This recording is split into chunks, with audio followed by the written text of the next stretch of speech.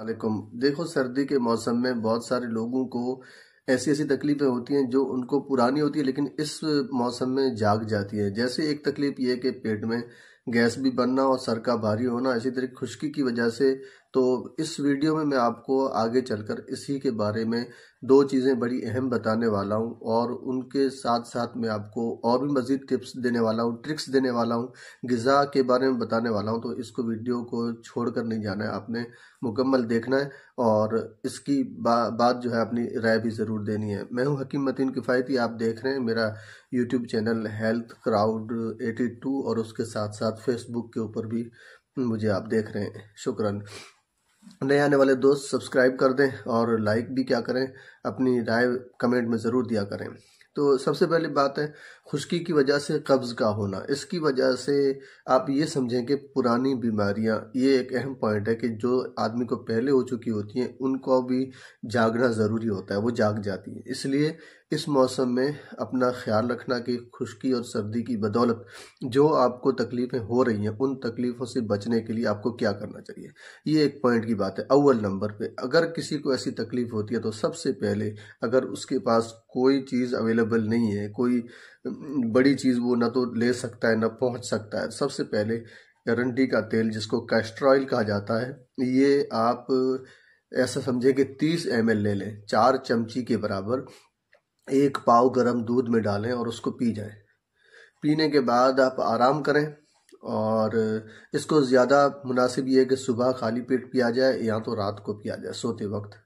इससे ये होगा कि अंदर की जो खुश्की है वो ख़त्म होगी और पेट एक बार में ही साफ़ हो जाएगा। इससे मोशंस ज़्यादा नहीं लगते, एक बार में पेट खुलकर साफ़ होता है।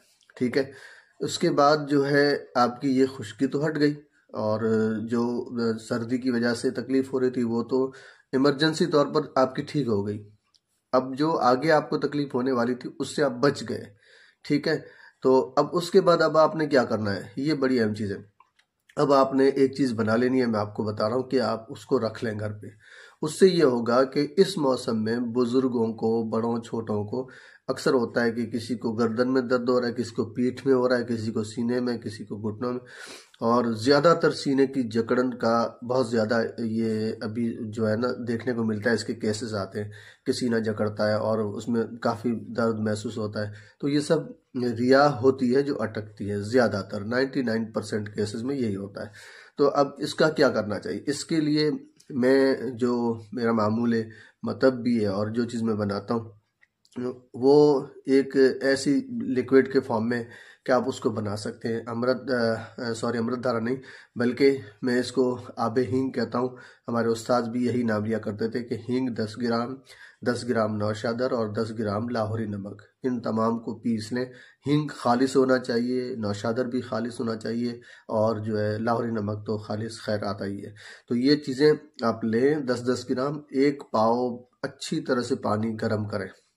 एकदम खौलाने पानी को तो उसके बाद उसमें इन सबको मिक्स करें और हिलाते रहें। एक दिन में दस दस मिनट हिलाते रहें। ये सात से छः दिन में आपका एक महलूल तैयार हो जाएगा। इसके आप खाने के बाद एक ढक्कन अगर आप पीते हैं या एक चमची पीते हैं तो ये फ़ौरन आपको जो है रिलीफ देता है। लेकिन याद रखिए, ऐसे नुस्खे जब बहुत समझ, सुनते हैं आप, लेकिन इनके फ़ायदे कम होते फ़ायदा इसलिए नहीं होता कि असल ट्रिक आपको मालूम नहीं होती है। ट्रिक ये है, इसको खाने के बाद अगर आप बैठ गए तो ये मज़ीद तकलीफ़ करेगा। इसको खाने के बाद आपने चलना है।